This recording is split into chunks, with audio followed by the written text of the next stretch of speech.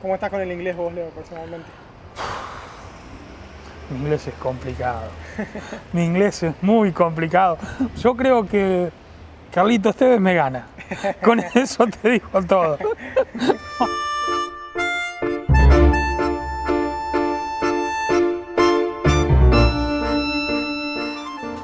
Y bueno, estás trabajando en otro país que no es el tuyo.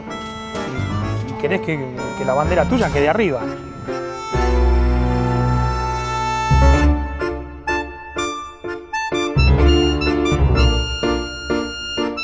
Argentinos en Londres, una de las partes más pero más grandes de mi canal. Emigrar a un país nuevo te abre muchas posibilidades y una de esas es esto, un negocio, una panadería, una cafetería argentina en pleno centro de Londres. Venimos a la panadería de Leo, donde vamos a probar unas cositas exquisitas y nos va a comentar el mismísimo Leo, dueño y chef de este lugar, cómo se hace un negocio argentino en Londres, cómo lo reciben los extranjeros, cómo es abrir un negocio en medio de una pandemia, porque eso hizo Leo una locura que por ahora está yendo bastante bien. Así que descubramos otro rubro de los argentinos emprendedores en Londres y veamos cómo está yendo la cosa. Así que acompáñenme y vamos a la panadería de Leo.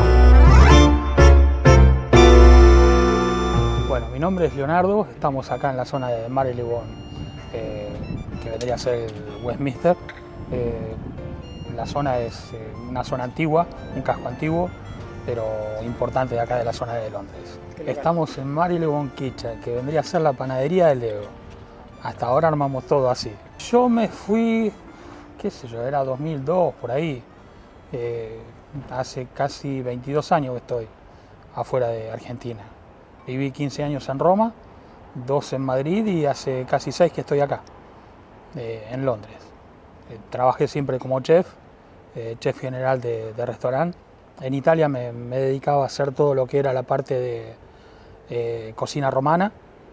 en España ya me dediqué más a a lo argentino eh, tanto pastelería como cocina. Y cuando vine acá en Londres, vine, teóricamente vine a, a empezar, eh, que me habían recomendado una cocina italiana. Y después me, llamaron de, para, para, tomar el cargo de, eh, de chef en Casa Malevo y bueno, y de ahí empecé con todo esto. Gente, momento de comer. Miren, tenemos una empanadita, tenemos alfajor de maicena, cañoncito y media luna. Toda invitación de la casa, muy amable todo, espectacular. Así que vamos a, a degustar eh, estas cositas para que vean la calidad de cosas que hay acá. Una empanada de carne fue la recomendación que no como hace mucho tiempo, así que estoy, estoy, estoy, estoy ansioso. Hmm. Miren.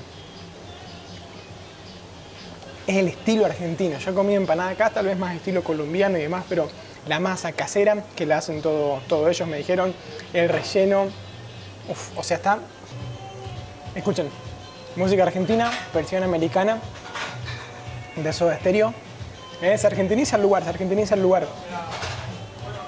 La empanada muy buena, muy buena.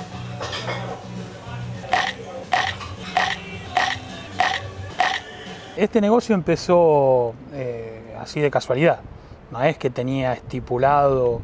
Como te dije, cuando empezó esto de la pandemia, yo acostumbrado a trabajar todos los días, eh, estaba en casa, me sentía como loco. No, no por estar encerrado, eh, tenía miedos, como seguramente le habrá, pasado a todo el mundo, eh, porque tener la familia lejos, un montón de cosas. Y, vos mirás y decís, ¿y, cómo me muevo? ¿Qué hago? Y, y, no era una forma de hacer negocio, era una forma de escaparme, de, de decir, bueno, vamos a probar a ver qué, a dónde se llega. Eh, por eso iban los packaging bien preparaditos, eh, para que no sea todo igual, para que nos represente, eh, qué sé yo, cosas sencillas, ¿viste? Porque si te das cuenta los productos no, es, no son productos complicados, pero son productos nuestros. Y la idea es que llegue a, a, a, los patriotas nuestros bien. O sea, nosotros empezamos con delivery primero. Eh, yo tenía, tengo una amiga, Luján, eh, que ella fue la que incentivó todo esto. Eh, dale, dale, que hacemos las cosas, no te hagas problema. y bueno, yo justo tenía unas, unas cajitas de presentación y empezamos a, preparar todo. Y en tres semanas explotó todo. Y cuando llegamos acá, em, yo ya casi no tenía más cocina. Y, bueno, de golpe empezamos a... Salió esto y en tres días no teníamos que decidir. Y yo en cinco días empezaba eh, con el otro restaurante. Eh, así que bueno, tuve que dejar todo y dedicarme a esto. Tenía, tenía miedo como todo. Eh, vos sabés que acá no es simple un contrato o que sea lo que Dios quiera. Bueno, pero la gente responde bastante bien. Así que bien, bien, viene, viene caminando, ¿viste? Momento de ir a lo dulce. Tenemos un poquito de todo bien variadito. Estas no son las únicas opciones, hay muchas más opciones como lo fuimos mostrando a lo largo del video. Pero bueno, no se puede comer todo. Miren lo que es el alfajorcito de maicena. Miren qué locura. Qué cantidad de dulce de leche, miren. Mm. Muy bueno. Qué rico que son estas cosas, qué rica es la cocina argentina. Y hasta lejos de casa es como se siente mejor, ¿no? Pero qué, qué bien que hacen las cosas acá, ¿eh? Momento de la media luna, como dijo el media luna, no croissant, estilo argentino. Miren, miren, miren. Ahí se desarma. Miren ese relleno. Miren ese, ese barniz. Mm, me encanta, me encanta el, el dulcecito. Acá no se consiguen medialunas, obviamente, a no ser casos muy específicos, pero es todo croissant estilo francés. Y esto es un mundo distinto. Qué bien. Lo que apunté primero es al público argentino, porque era nuestro producto. Eh, no, no hicimos publicidad ni nada por el estilo. Eh, fue más que nada un boca a boca. Eh, y bueno, en tres semanas ya teníamos 700 seguidores. Y vos decís, ¿y acá? entonces, yo a eh, mucha gente te dice, y ahora tenés no sé cuántos seguidores, qué sé yo. No, no, no, no, porque ahí es, es otro compromiso. Eh, no es que vos ahora puedas dar cualquier cosa.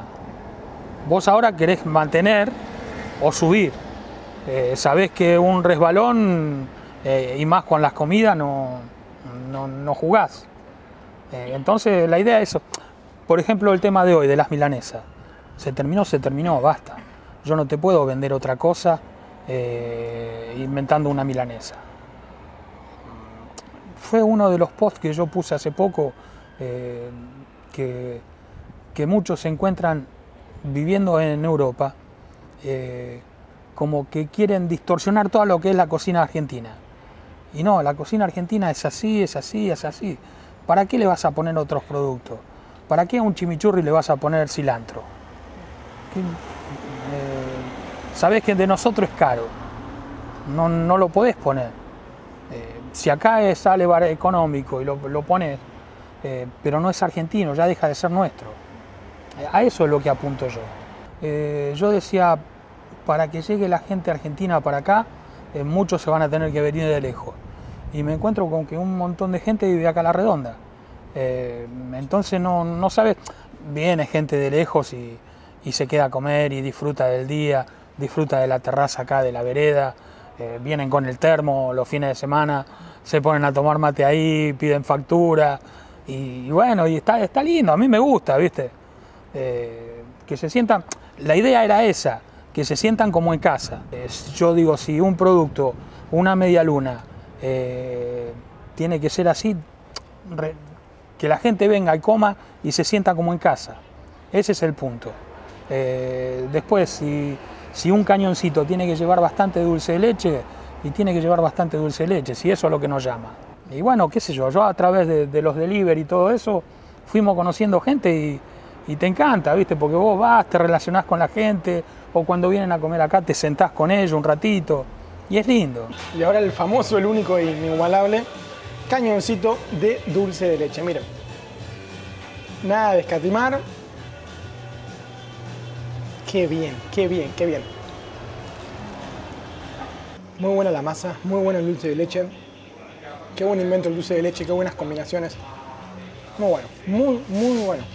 También quiero decirles que pude probar un poquito de la milanesa que quedaba. Eh, estaba muy rica, muy rica, no una entera, sino un pedacito. eh, estaban muy buenas también, muy tiernas. No puedo probar todo el menú, obviamente, pero hay muchísimas, muchísimas opciones. Hay, hay sándwiches, hay, hay milanesa, hay choripán, gente. Eh, obviamente tenemos medialunas, brownie con dulce de leche, alfajores de maicena, em, de todo, de todo. Más empanadas, mucha variedad de empanadas. Muchísimas cosas que, que, realmente no se puede probar, pero que pueden revisar un poquito ahí el, el menú. Hay de todo, se puede meter en su perfil eh, y también averiguar un poquito. No se queden solo con estas opciones que igualmente están buenísimas. Tratamos de hacer las cosas bien. Eh, como te dije, los alfajorcitos se rellenan todos los días, son frescos, se terminó, se terminó. Eh, entonces la gente eso también le gusta. Eh, y bueno, estás trabajando en otro país que no es el tuyo y, y querés que, la bandera tuya quede arriba. No, no, no querés que diga, eh, mirá, este sudaca. No, eh, vos haces las cosas bien y la gente te va a respetar. Ahora, si, si, le querés vender gato por liebre o hacer la viveza criolla, sabés que no llegas a ningún lado. Yo, como le digo a todo, cuando yo trabajaba en Italia decía, eh, ¿por qué no puedo llegar a ese puesto y siempre me falta algo? Eh, y vos te das cuenta después cuando llegás que, fue todo un aprendizaje para llegar a eso. Eh, como que, que, que, te van enseñando los puntos, ¿entendés? Y que cuando vos estás preparado llegás, eh, si querés hacer las cosas bien. Y hasta acá ha llegado el día de hoy, gente. Eh, Súper agradecido por toda la buena onda que nos dio Leo. Qué bueno saber que un argentino, un latinoamericano, un extranjero está progresando en, este país y con cosas propias, con cosas de uno y que tiene buena recepción tanto de los locales como de los mismos argentinos. Cuando las cosas se hacen bien y con buena onda, esto sucede, esto surge se puede disfrutar lo mejor de la tierra de uno en el exterior. Así que gracias Leo, gracias a todos por el video, pero mejor que la despedida la haga él, ¿no? Antes que nada, suscríbanse al canal de Nacho. Eh, muchas gracias por venir. Eh, los invito a mi panadería, eh, a Marilebon Kitchen, y están todos invitados. Muchas gracias por todo y los, los esperamos aquí.